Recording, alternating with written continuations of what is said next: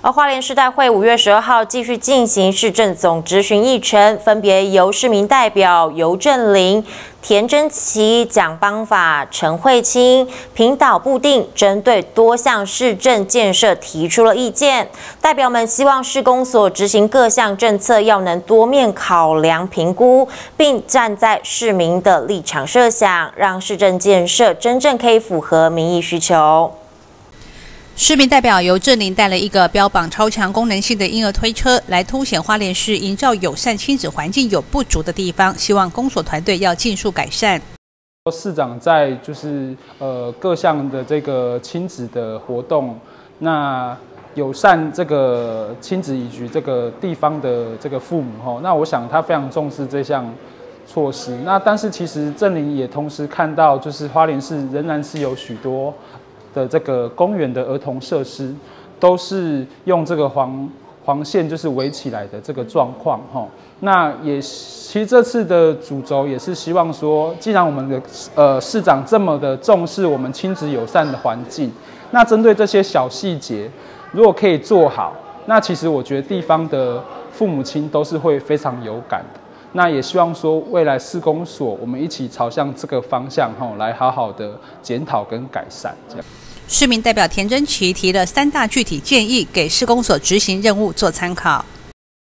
那针对目前生育率下降的部分，我希望施工所也可以拟定呃生育补助津贴的自治条例，来跟上其他乡镇的脚步。针对美仑地区长期饱受垃圾之苦的这个呃垃圾掩埋场，未来将转转型成垃圾转运站。那我提出了新建封闭式垃圾转运站站的办法，希望可以更环保、更干净的来解决我们垃圾的去处。中山公园儿童呃游乐区这个溜滑梯在背后有工程，呃，目前看起来是不安全，也急需要改善的部分，请呃施工所工程队能够加强的来处理，并且针对工程移交的问题，我也提出了质疑，希望工所在这个部分也要拟定出相关工程移交、设施设备移交的办法，以避免未来有同样的憾事发生。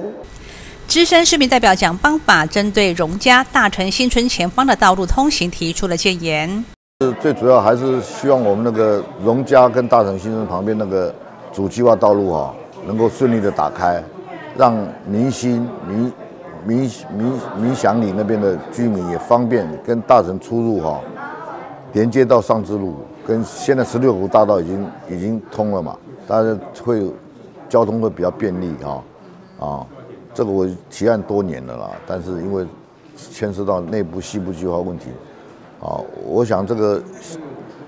大城新村要都跟那先摆下来嘛，先把那个主计划道路开出来，让老百姓有感啊，就觉得说，哎，我们这路开起来，慢慢开始，大家就会认同嘛，哦，比较会同意这样。市民代表陈慧清对于行人安全也提出加强改善的方法。在台中有实施一个一个呃行车安全的一个改善哈，就是当行人在走在斑马线的时候，它的那个照明灯会亮，就照着我们的斑马线，让所有的用路人、驾驶人都可以看到我们有行人在这边行走，来降低车祸的一个危险跟几率啊。我们到宜兰县去看了哈，去精进考察看了那个呃所谓的宽屏的一个方式，我们用租用替代购买。那这样子的经费又变少，然后又可以维护到普及化到我们各项内哈，呃，车祸频繁的地方，这是维护到我们的一个社区的安全。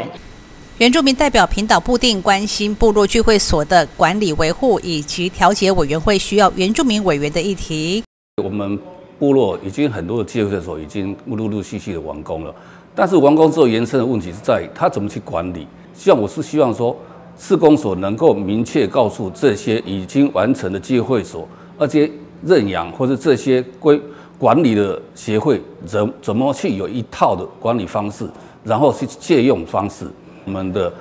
那个调解委员会的调解委员的任前是不是要这要增加一位我们的原住民调解员，以备来让我们原住民在发生任何诉讼或是说有一些困难点的时候，能够有一些。一些的帮忙，这是本席这一次的重点。代表们希望市公所执行各项政策，要能够多面向的考量评估，并且多站在市民的立场来设想，让市政建设真正切合民意需求。谢瑞会话是报道。